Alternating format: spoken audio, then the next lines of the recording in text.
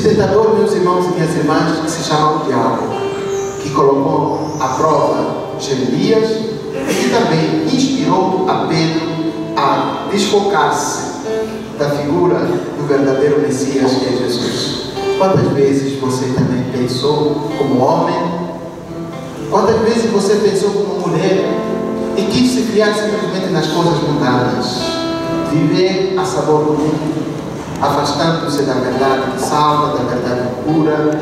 Quantas vezes você não conseguiu enxergar quem é realmente Jesus na sua vida, no seu lar, na sua família? Nós precisamos levantar a nossa voz diante de Deus, nosso Pai, e dizer: Por todas as vezes que eu não, não cumpri na íntegra a minha missão, Senhor,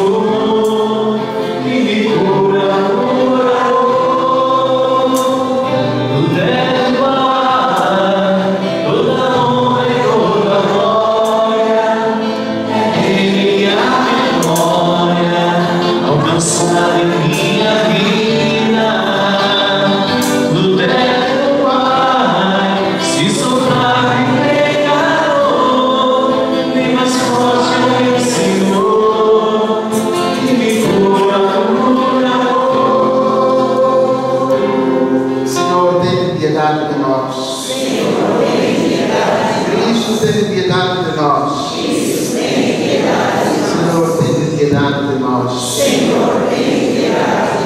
Deus Todo-Poderoso, tenha compaixão de nós, perdoa os nossos pecados e nos conduz à vida eterna. Amém. E ação graças pelo aniversário de Paulinho, esposo e também a dona Itamar, que celebrou seu aniversário essa semana. Vamos louvar o Senhor, cantando glória a Deus nas alturas. Nas palmas, bem forte, bem bonito. Glória.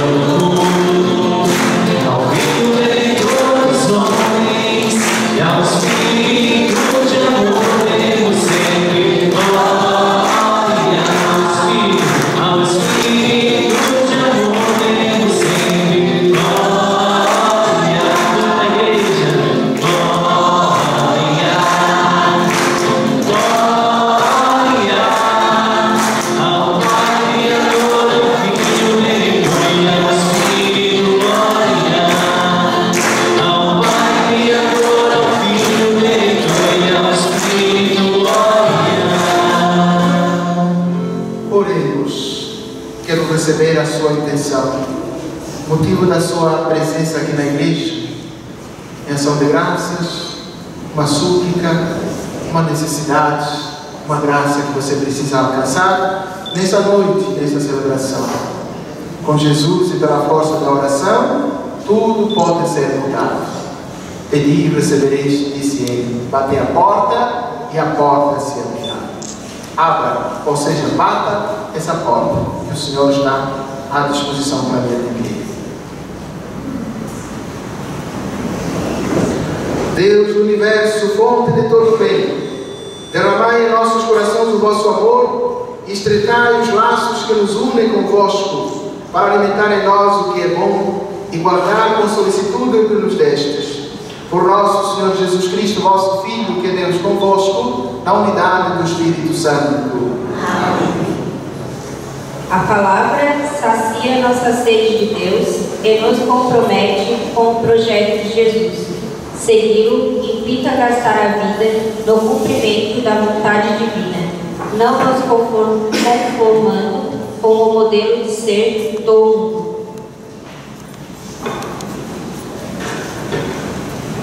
Leitura. Leitura do livro do profeta Jeremias. Seduziste-me, Senhor, e deixei-me seduzir. Foste mais forte, tivesse mais poder tornei-me ao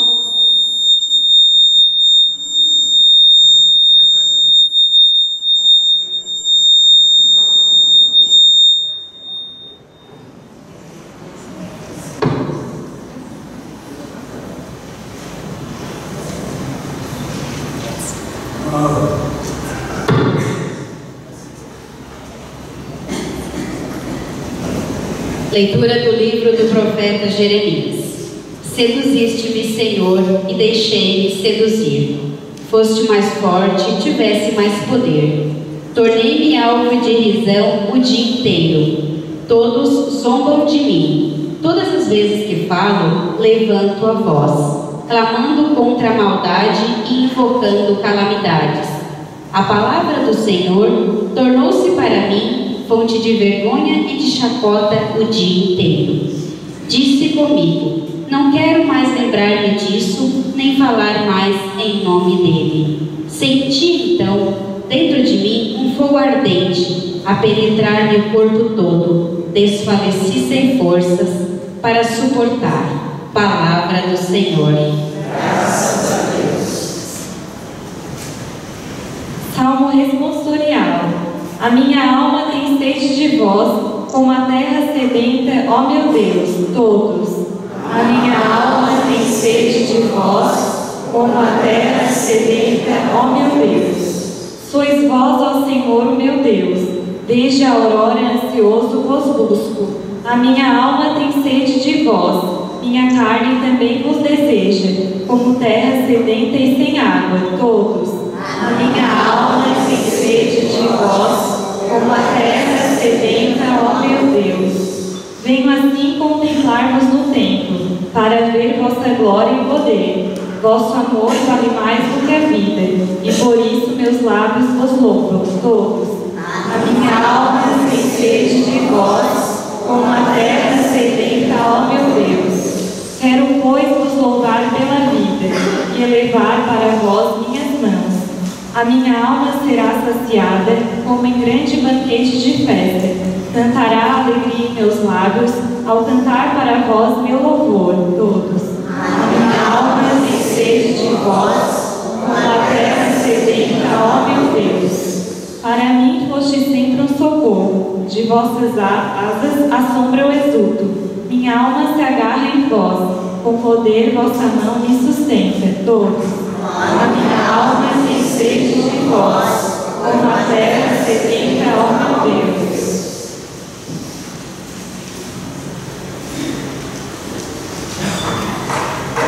Leitura da carta de São Paulo aos Romanos. Pela misericórdia de Deus, eu vos exorto, irmãos, a vós oferecer-lhes em sacrifício vivo, santo e agradável a Deus. Este é o vosso culto espiritual. Não vos conformeis com o mundo, mas transformai-vos, renovando vossa maneira de pensar e de julgar, para que possais distinguir o que é da vontade de Deus, isto é, o que é bom e o que lhe agrada, o que é perfeito. Palavra do Senhor. De pé, aclamamos o Santo Evangelho cantando.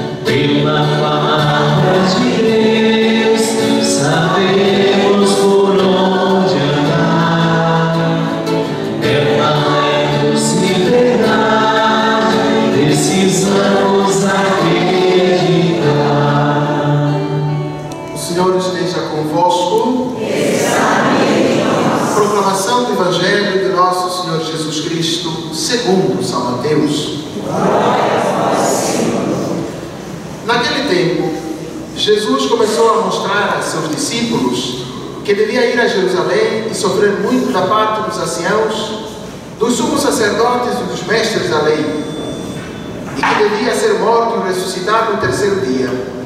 Então Pedro tomou Jesus à parte e começou a repreendê-lo, dizendo: Deus não permita tal coisa. Isso nunca te aconteça. Jesus, porém, voltou-se para Pedro e disse: Vai para longe, Satanás. Tu és para mim uma pedra de tropeço, porque não pensas as coisas de Deus, e sim as coisas dos homens. Então Jesus disse aos discípulos: Se alguém quer me seguir, renuncie-se a si mesmo, tome a sua cruz e siga-me. Pois quem quiser salvar a sua vida vai perdê-la, e quem perder a sua vida por causa de mim vai encontrá-la. De fato, o que adianta o homem ganhar o mundo inteiro, mas perder a sua vida? O que poderá alguém dar em troca da sua vida? Porque o Filho do Homem virá na glória do seu Pai com os seus anjos, e então retribuirá a cada um de acordo com a sua conduta. Palavra da salvação.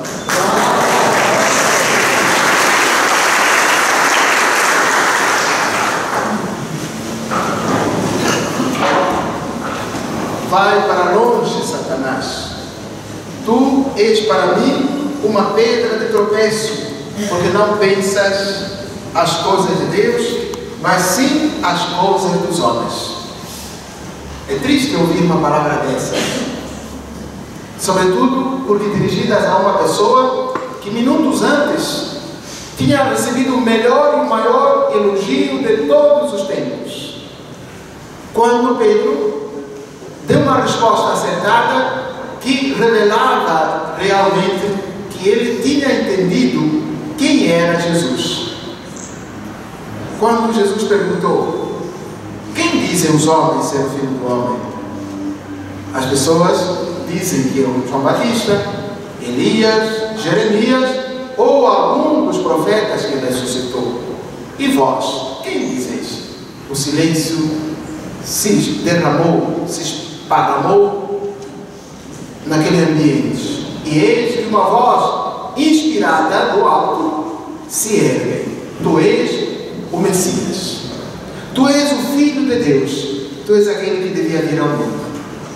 E em troca dessa real e acertada identificação de quem era o Messias, Jesus responde: Feliz és tu, Simão Pedro. Porque não foi um ser humano que te revelou isso, mas foi por inspiração divina. E por isso eu te digo: Tu és Pedro, e sobre esta pedra eu edificarei a minha igreja. As portas do inferno nada poderão sobre ela e com ela. Minutos depois, Jesus começa a falar da cruz que ele havia de enfrentar. Eis que nós vamos para Jerusalém. E aí o filho do homem vai ser chicoteado, vai ser flagelado, vai ser crucificado, vai morrer. Mas ao terceiro dia ele ressuscitará. Pedro, ainda emocionado e talvez confuso, para representar todos os homens e mulheres que andam às apalpadelas, que ainda não descobriram que realmente, quem é realmente Jesus, embora estejam dentro da igreja, embora façam parte da comunidade, embora façam parte da, da família, ainda não entenderam que dentro da família nós precisamos lidar com os conflitos. Nós precisamos lidar com as dificuldades, com os problemas. Nós precisamos enfrentar a dureza da vida. E quanto mais dura a vida for, menos dura. Ainda Pedro não tinha entendido que realmente era necessário que Jesus Cristo morresse e depois da morte viesse a ressurreição. Pedro ainda não tinha entendido que é necessário que o grão de trigo que cai na terra precisa morrer para germinar e dar vida. Pedro ainda não tinha entendido, como também você não entendeu ainda, como também eu não entendi ainda, que dentro do lar, dentro da família, é necessário que haja mortificação, que haja renúncias, que haja humildade, que haja um deixar, um perder 50% da minha razão, do meu eu, da minha soberba, da minha prepotência, para que o outro tenha espaço de respirar. Pedro ainda não entendeu que a vida só é vida quando ela é partilhada, quando ela é colocada como a vela que se consome, como a lâmpada que acende dentro de casa. Pedro ainda não tinha entendido que é necessário que nós sejamos como que um punhado de farinha que é lançado na massa, que tem que desaparecer para que a farinha fermente, levede. E então Pedro estava exatamente significando também aqueles homens e aquelas mulheres que querem vida boa, mas não querem trabalhar. Querem que haja respeito dentro de casa, mas não respeita ninguém. Querem que o outro lhe, lhe agrade, mas ele não agrada a ninguém. Quer que o outro responda com calma, com transparência, mas ele age violentamente e agressivamente. Meus irmãos e minhas irmãs, se nós não nos renovarmos constantemente na nossa forma de pensar, na nossa forma de agir, na nossa forma de reagir, como dizia a segunda leitura tirada da carta de São Paulo aos Romanos, capítulo 12, versículos 1 até o versículo 12, 2. Não vos conformeis com o mundo, mas transformai-vos, renovando vossa maneira de pensar e de julgar, para que possais distinguir o que é de vontade de Deus. Isto é o que é bom, o que lhe agrada, o que é perfeito. Meus irmãos e minhas irmãs, isso nós não conseguiremos fazê-lo se nós não nos exatamente autoabusarmos e vivermos aquilo que Jesus Cristo pediu que todos nós vivêssemos. Amai-vos uns aos outros, assim como eu vos amei. Não há maior prova de amor senão, senão aquela que consiste em dar a nossa vida por aqueles que nós amamos. Pedro, nessa, nessa, nessa advertência, ele representa todos aqueles que querem ir para o céu, mas nada fazem, fazem para merecer o céu. Aqueles que, mesmo sabendo, tendo consciência, embora uma consciência muito longe de si, da morte, em vida vivem como se a morte nunca viesse bater a sua porta. Ou seja, aqueles que para eles, a morte é para os outros. Alberto Camus, filósofo, existencialista, Jean Paul Sartre, outro existencialista, né? e tantos outros. Gabriel Marcel, outro existencialista, aqueles homens que dizem a morte é para os outros. O inferno são os outros. Os outros é que existem, estão ali para me infernizar. E a gente se esquece que quem produz o inferno muitas vezes não são os outros, somos nós. Quando eu não amo como devia amar, quando eu não ajo como devia agir, quando eu não assisto os outros como devia assisti-los, como eu, como eu, quando eu não sou uma flor que de fato se deixa cheirar e degustar a beleza que Deus imprimiu em cada um de nós. Quando eu não consigo me abrir o máximo para que os outros tenham espaço dentro de mim. Isso, meus irmãos e minhas irmãs, não se faz sem esse essa, essa prioridade que Jesus coloca como indispensável: carregar a nossa cruz. Carregar a nossa cruz, meus irmãos e minhas irmãs, significa exatamente seguir as pegadas de Jesus rumo à mortificação. Não é humilhação, não. Humilhação não santifica ninguém. Humilhação, meus irmãos e minhas irmãs, não nos faz existir no tempo e no espaço, nem tampouco nos faz crescer. Quando nós somos humilhados, nós somos neutralizados, somos anulados. Por isso é que a humilhação se torna um ato excludente, mas a humildade nos dignifica. A humildade faz com que dentro de nós se crie exatamente o caminho que nos leva à perfeição, à santificação. E vejam que só os humildes aprendem, só os humildes compreendem, só os humildes se colocam no lugar do outro. O humilde não julga. O humilde não critica, ele corrige. Vejam que existe uma, duas, uma, existe diferença entre a crítica e a correção. Normalmente crítica é exatamente para colocar de lado o outro. Vejam que todas as pessoas que, criticam as outras, essas não crescem. Mas as pessoas que corrigem as outras crescem evoluem, aprendem com os erros dos outros. E à medida que nós vamos corrigindo os outros, nós vamos nos aperfeiçoando. E à medida que nós vamos criticando os outros, nós vamos nos diminuindo. É por isso que ninguém gosta de conviver quem critica. Ninguém. O marido que critica a sua esposa, essa pessoa se, desqualifica. A esposa que critica o seu marido, essa pessoa se desqualifica. Os pais que criticam seus filhos, e normalmente as críticas não são feitas olho por olho, dente por dente, não. Quer dizer, vis a vis. As críticas são feitas fora do ambiente familiar, fora do lar, fora da comunidade, fora da igreja. Todas as pessoas que andam criticando as outras não fazem na presença das outras do criticar. Mas a pessoa que corrige, ela vai ao encontro. Estou vendo o Senhor ali, eu vou corrigir. Eu vou ao encontro dele e converso com ele. Eu estou corrigindo ele, olhando nos olhos dele. Quando eu critico, eu volto as costas para ele e vou falando com os outros.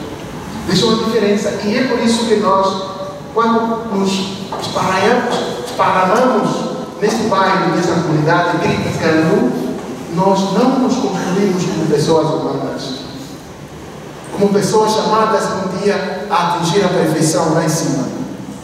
Nós nos destruímos. Lembrai-vos que a crítica nunca, mas nunca mesmo, vai construir tanto o seu lar, o seu casamento, os seus filhos, as suas filhas, na sua empresa, nos seus relacionamentos, amizade, tudo, e também aqui na igreja. A gente, quando critica, nós pura e simplesmente nos destruímos. Acabamos. A crítica faz com que reine entre nós aquilo que Jesus falou numa das parábolas. Todo reino dividido acaba por se destruir. Agora, todo reino que se corrige, esse cresce, porque a correção é para o crescimento. Vejam, nenhum pai critica, nenhum pai corrige para afastar o filho. O pai corrige o filho para amá-lo cada vez mais, para fazer o homem. O pai critica a filha para fazê-la mulher, para ser gente. E para isso que a gente corrige. Aliás, dizem os ditados: quem corrige, quem corrige, amigo é. Agora, quem critica, esse é inimigo. Então vejam, todas as pessoas que criticam as outras se constituem imediatamente e se configuram como inimigas. E todas as pessoas que criticam essas pessoas imediatamente assumem o papel de abole. Aquilo que Jesus falou: afasta-te de mim, Satanás, porque tu não pensas como homem, não pensas como Deus, tu pensas como homem. Então talvez seja este momento de cada um de nós se colocar um pouquinho, colocar um pouquinho a cabeça no lugar. Nas minhas conversas, eu critico ou eu corrijo? Não se faz a correção longe da pessoa que errou, fora da pessoa que errou. A correção se faz na frente da pessoa que errou e com a pessoa que. Filho, não faça isso. Isso é ruim. Isso não fica bem para você, meu filho. Isso não fica bem para você, minha filha. Vamos, ganhe juízo, cresça um pouquinho mais. Olhe para a meta. Vamos! Agora, as críticas não vão nessa direção. Mas isso, meus irmãos e minhas irmãs, dadas as nossas fragilidades, as nossas debilidades, fazem com que, faz com que nós nos assumamos como tais. Não homens e mulheres criadas, formadas para viver nas, nas coisas deste mundo. Diz Santo Agostinho, criastes-nos para vós, ó Pai. E o nosso coração está inquieto enquanto não repousa em vós. E o salmo, para ser mais claro ainda, diz: A minha alma tem sede de vós, como terra sedenta, ó meu Deus. E Jeremias, na primeira leitura, vai ainda, é, vamos assim dizer, fortificar mais esse, essa ânsia do salmista. Diante das suas debilidades e fraquezas, diante das chacotas, diante dos ataques, das críticas destruidoras, Jeremias ficou entrou também numa, numa tentação. Qual foi a tentação de Jeremias? É abandonar tudo e deixar a barca afundar. Abandonar a casa, o lar, como às vezes acontece, pais, ou seja, maridos que entra na cabeça, é melhor eu abandonar a casa. Desse jeito não dá. Eu vou sair de casa, mulheres que saem de casa. É tentação, o desânimo, fraqueza, debilidade. Meu filho, assim não dá, meu filho, eu, eu, eu não mão. Essa injeção de saco. É melhor que eu fique longe. Já o profeta Jonas havia tido essa tentação de fugir de Nínive. Mas Deus pega Jonas, não fuja, vá para Nínive. E Jonas foi. E e produziu-se a conversão. Hoje, Jeremias faz uma confissão pública. Seduziste-me, Senhor, e eu me deixei seduzir. Entramos em guerra. Eu queria desistir da minha função de profeta. Como também a Amós havia dito pouquinho antes. Eu não sou profeta, nem filho de profeta. Eu continuava assim como, mas o Senhor me chamou. Foi o Senhor quem me chamou. Não sou culpado da missão que estou desempenhando. Foi o Senhor quem me chamou. E eu estou aqui. E portanto não posso desistir da minha missão. E Jeremias simplesmente diz: Todas as vezes que falo, levando a voz, clamando contra a maldade e invocando calamidades, a palavra do Senhor tornou-se para mim fonte de vergonha e de chacota o dia inteiro. Todo mundo fala, falando mal de mim. Todo mundo se opondo à minha palavra. Todo mundo dizendo, vamos pôr a prova, vamos ver se ele cai, para depois a gente difamar. Difamar-o. Vamos matá-lo. Porque ele se diz ser profeta. Tudo isso talvez tenha acontecido com você, na sua casa. Talvez a sua esposa lhe tenha enfrentado de uma forma errada. E talvez o seu filho não lhe tenha compreendido. Talvez a sua filha não lhe tenha compreendido. E talvez você tivesse já enfrentado uma situação difícil desse jeito. A sua irmã, quem sabe? Os seus netos, quem sabe? E quem sabe até, por que eles eram desse jeito? Uma mãe assim? Uma avó assim? Um padre assim? Nos desanimando, nos desencaminhando. Mas é preciso que você não perca o foco. Não perca o foco. Não desista da sua missão. O profeta Jeremias nos ensina hoje a recuperar os ânimos. Seduziste-me, Senhor, e eu me deixei seduzir. Tornei o meu rosto duro como pedra, porque eu sei em quem depositei a minha confiança, de São Paulo. E ele me fortalece, ele me anima, ele me empurra para frente. E eu não posso desistir. Senti-me então dentro de mim um fogo ardente a penetrar-me o corpo todo, desfalecido, sem forças para suportar, porque fui vencido pela palavra. Essa palavra estamos iniciando esse mês de setembro, mês da Bíblia. Meus irmãos e minhas irmãs, é a palavra que nos fortalece, é a palavra que deve esquentar o nosso coração e os nossos ânimos, é a palavra de Deus que deve ser o, o, o combustível que alimente a nossa fé, a nossa confiança, a nossa esperança de que tudo passa. Não há nada neste mundo que possa nos desencaminhar. E então, e então, não podemos nos conformar com as realidades deste mundo. Sigamos as pegadas de Jesus, aquele que hoje nos convida a assumir a nossa cruz.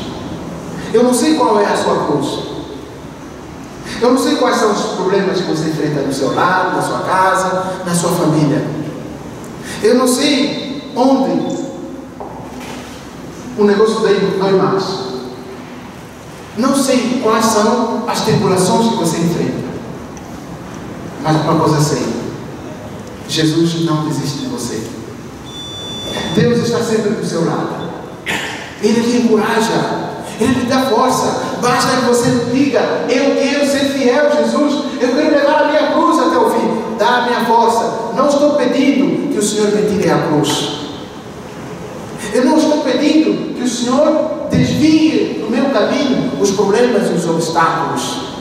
Mas que o Senhor me dê a força, a coragem, que o Senhor me dê a sabedoria para driblar dar pulos, dar voltas por cima dos meus adversários, dos meus perseguidores, dos meus caluniadores, daqueles que me criticam, daqueles que me rotulam, daqueles que me jogam para baixo. Para que eu siga dia após dia as pegadas, pois as nossas obras, meus irmãos e minhas irmãs, nos acompanham. E a primeira obra que o Senhor está nos convidando a assumir, a carregar hoje, é a obra dos nossos problemas, dos nossos conflitos, das situações que nós vivemos no nosso dia a dia. Aliás, é exatamente isso que vai fazer com que um dia você chegue no céu. Porque no céu, para o céu, não se vai sem cruz. Quer ir para o céu? Sim, quer. Então, carregue a sua cruz. Disse Jesus aí nesse texto. Se alguém me quiser seguir, renuncie-se a si mesmo, tome a sua cruz e siga-me. Pois quem quiser salvar a sua vida, vai perdê-la. Mas quem quiser perder a sua vida por causa de mim e do Evangelho, este homem e esta mulher vai salvar. A sua cruz é a sua esposa? Carregue. A sua cruz o marido? Carregue. Com amor, com carinho, com paciência. Aliás, o que se carrega com amor, deixa de ser peso. Já viu? Conta-se, para terminar a homilia, que lá no país de guerra, o rapaz, uma criancinha de 11 anos, carregou nas costas do seu irmãozinho de 4, de quatro aninhos. E as pessoas assim ouvindo, ouvindo, uma jornalista perguntou assim, mas o que peso você está carregando? Que situação difícil, você está conseguindo levar o seu irmão?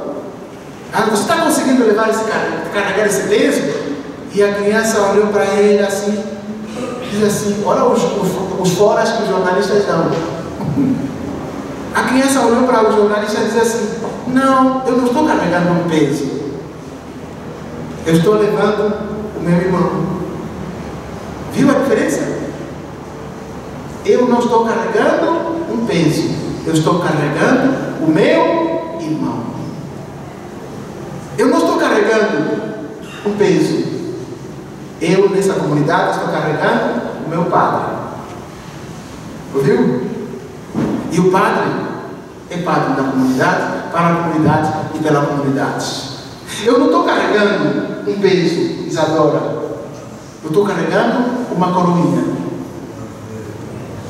Eu não estou carregando um peso. Eu estou carregando essa, essa mulher aqui, essa menina aqui, que é a coordenadora dos coroinhas. Eu não estou carregando um peso. Eu estou carregando essa mulher aqui, Graça, que é da Pascua. E hoje estamos na missa da Pascua. Eu não estou carregando um peso. Eu estou levando a dona Amélia, que é a coordenadora do dízimo. Quando eu vou para a igreja, levar, eu, o dízimo não é um peso. Aliás, é gratidão. É partilha, é serviço, é compromisso. Eu não estou ajudando, não estou depositando meu dinheiro no saco outro. Eu estou dando meu dinheiro para o bem da comunidade para a construção desta comunidade. Essa construção, a, constru, a comunidade que, na qual eu estou inserido, ou onde eu estou inserida. Eu não faço as coisas para aparecer, mas eu faço as coisas para que a comunidade avance. Meus irmãos e minhas irmãs, se nós tivéssemos a consciência de cada um de nós carregar a sua cruz, Cabeçuda seria o melhor bairro de todos os bairros porque nós carregaríamos todos os problemas da comunidade de Cabeçuda juntos e os resolveríamos todos juntos. Ninguém pensaria só em si. Nem tampouco pensaríamos na, na, política, no partido. Não, nós teríamos pensado simplesmente no bem comum desse bairro, dessa comunidade. As nossas ruas teriam todas bem feitas, as entradas teriam bem organizadas, limpeza em todo o canto, higiene, tudo que é certinho, nós teríamos construído de facto uma comunidade belíssima. Mas o problema é que ninguém quer carregar a sua cruz. Nós teríamos famílias santificadas. Nós teríamos maridos e esposas mais lindíssimas e lindíssimos de todos os tempos e do mundo inteiro. Nós teríamos famílias que se amam na verdade.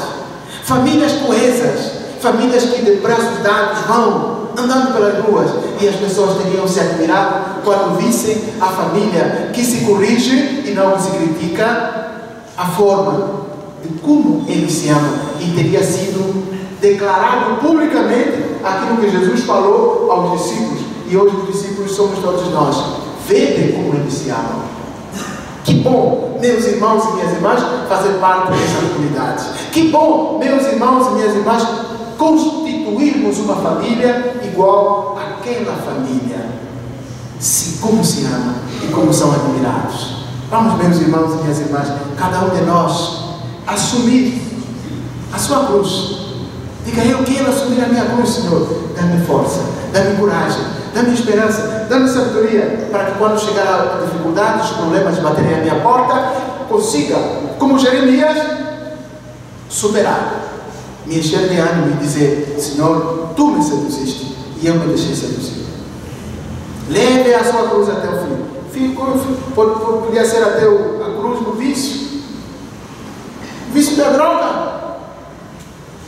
A gente precisa carregar essa cruz. E carregar a cruz da renúncia. Não quero mais esse, essa coisa aí. Eu tiro isso de mim. E vou, e vou, e vou. Vício do cigarro também. Tira esse vício dali. É a cruz da renúncia ao cigarro. Vício da língua, tira isso daí. Vício da língua. É a cruz que você tem que levar. Dia após dia, mas com paciência, com amor. Porque tudo que se leva com amor se torna um jugo suave. Deixa de ser tenso. Vamos nos colocar de pé, vamos pedir que o Senhor venha ao nosso encontro, nos dê a graça da fidelidade, de suportar e carregar a nossa cruz seguindo as pegadas de Jesus.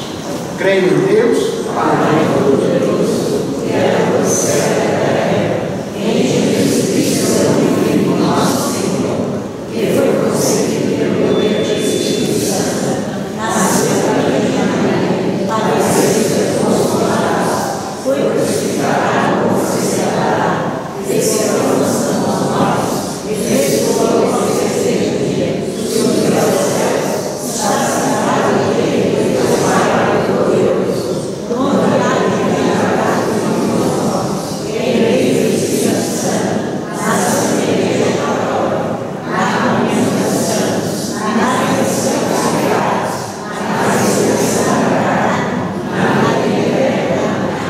Irmãos e irmãs, supliquemos a Deus, nosso Pai, que olhe para nós e nossas necessidades, dizendo: Abençoai-nos e protegei-nos, Senhor.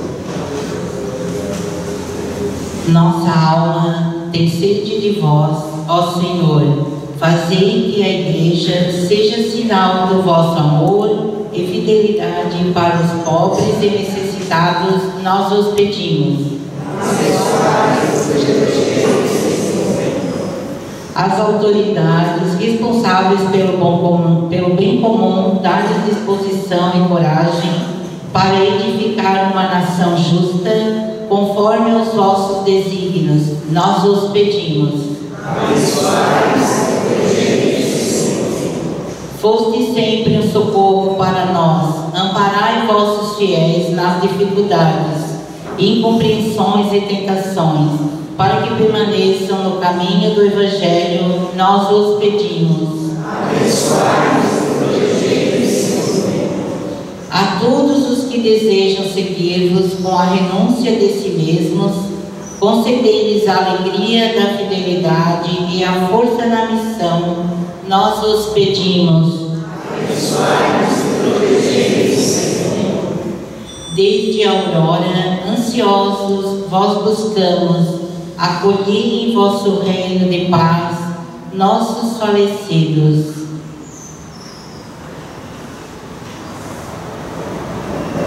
Nós vos pedimos.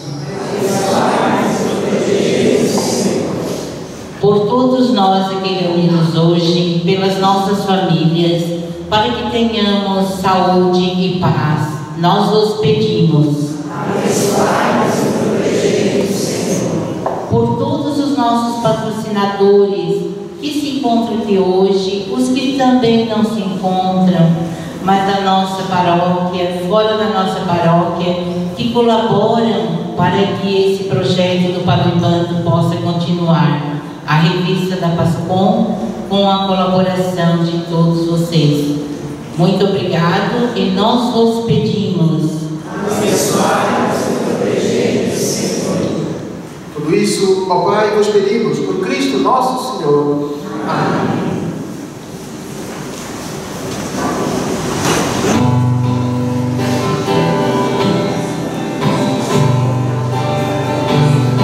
coração para ti,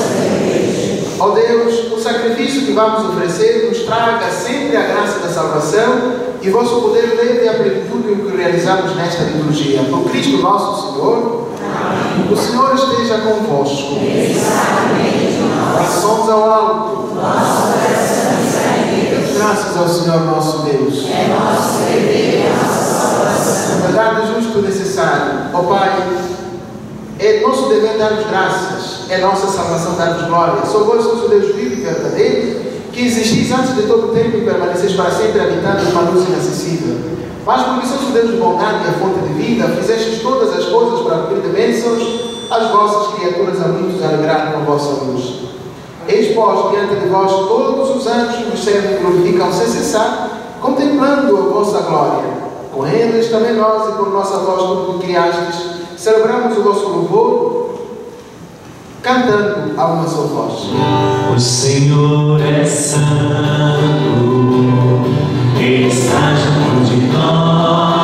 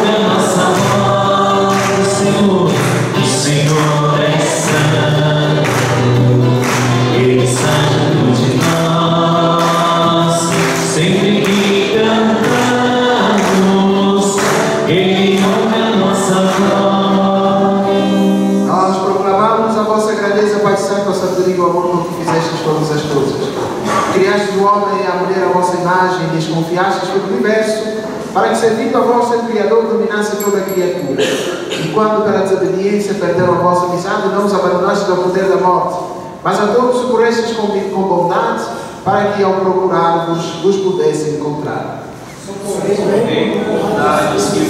E ainda mais, oferecestes muitas vezes aliança aos homens e às mulheres, e os instruístes pelos profetas na esperança da salvação, de tal modo, Pai Santo, amastes o mundo, que chegada à plenitude dos tempos, nos enviastes vosso Filho para ser o nosso Salvador. Por amor nos enviastes vosso O Filho. verdadeiro homem concebido do Espírito Santo e nascido da Virgem Maria, viveu em tudo a condição humana menos o pecado. Anunciou aos pobres a salvação, aos oprimidos a liberdade, aos tristes a alegria.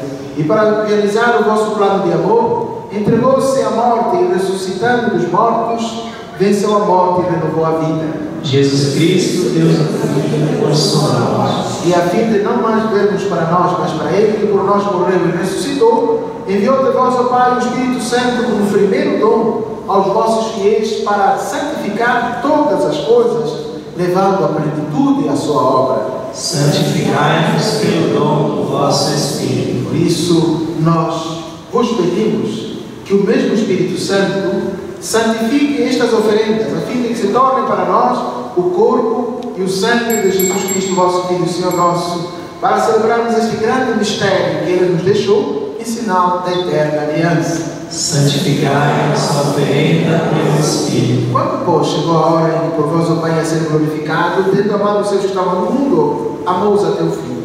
Enquanto ceavam, ele tomou o pão, deu graças e partiu, e o deu a seus discípulos, dizendo: Tomai todos e comei. Isto é o meu corpo, que será entregue por vós.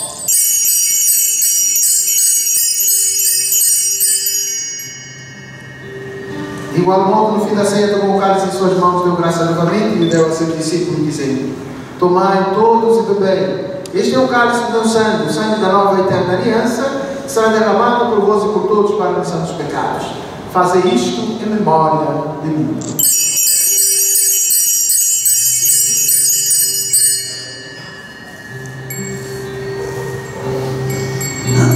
Eis o mistério da fé.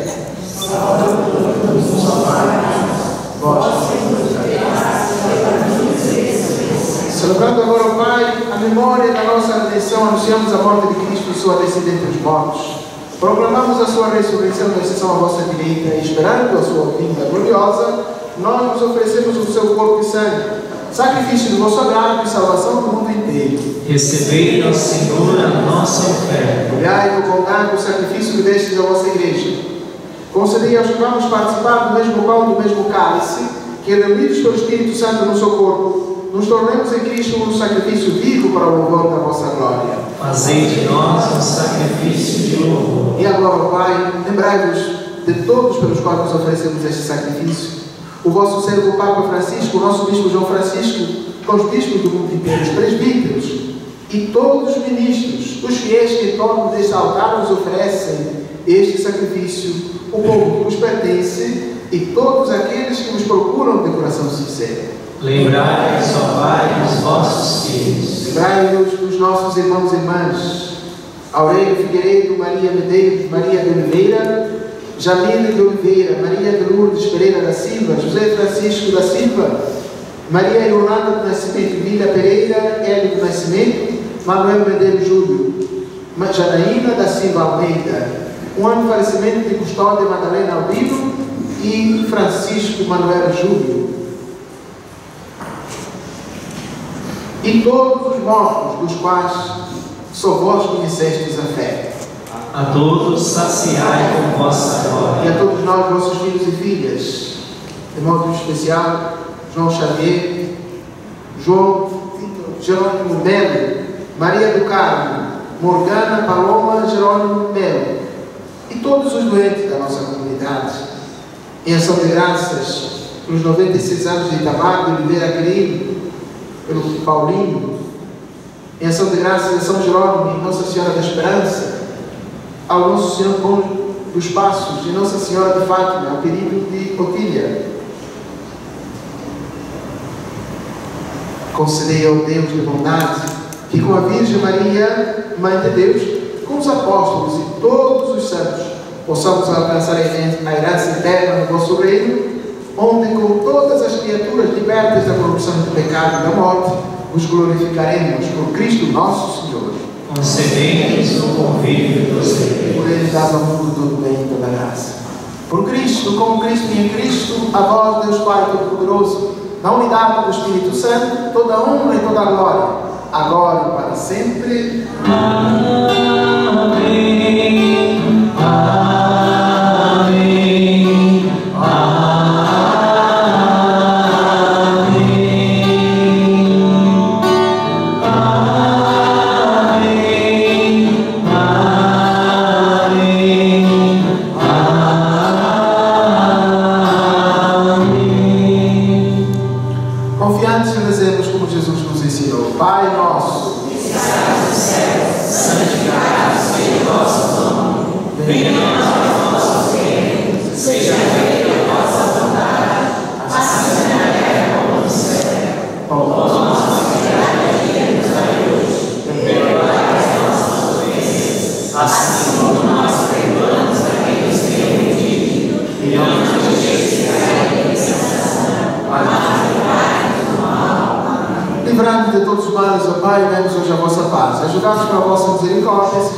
Livres do pecado e de toda a perturbação, enquanto, dentro da esperança, aguardamos a vinda de Cristo, nosso Salvador. Senhor Jesus Cristo, que dissestes aos vossos apóstolos, deixem-vos a paz, dou-vos a minha paz. Não lhes aos nossos pecados, mas a fé que é na vossa igreja. Dá-lhe, Senhor, segundo o vosso desejo, a paz e a unidade. Vós que sois Deus com o Pai e o Espírito Santo.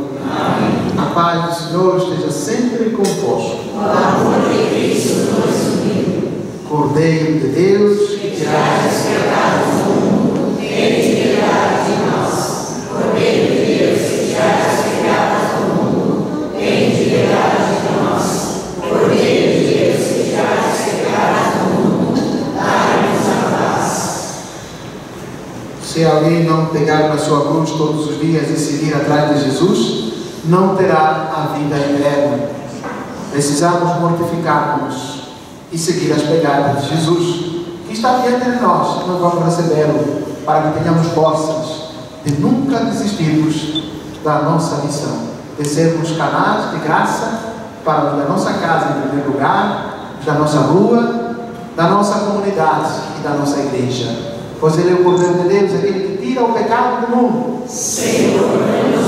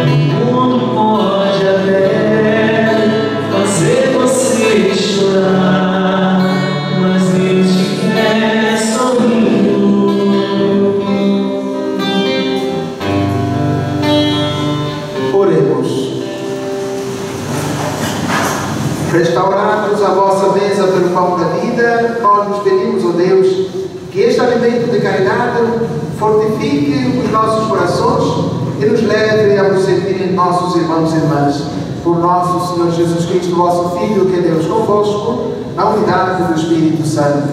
Amém. O Senhor esteja convosco. Abençoe-vos o Deus Todo-Poderoso, Pai, Filho e Espírito Santo. Amém. A todos e a cada um desejo que carreguemos as nossas cruzes com muita alegria, com muita paz, com muita serenidade e com muita fé.